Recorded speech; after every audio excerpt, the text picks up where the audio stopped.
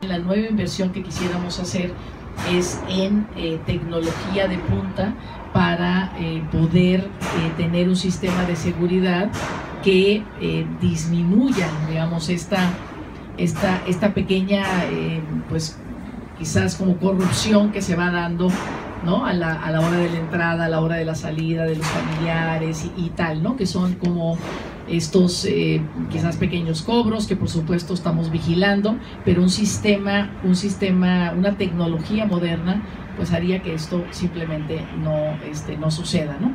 Así es que eh, en este momento le vamos a poner más atención a, a, ese, a ese asunto y por supuesto en una política que decimos, digamos, menos reclusos, más política de, de reinserción, ¿no?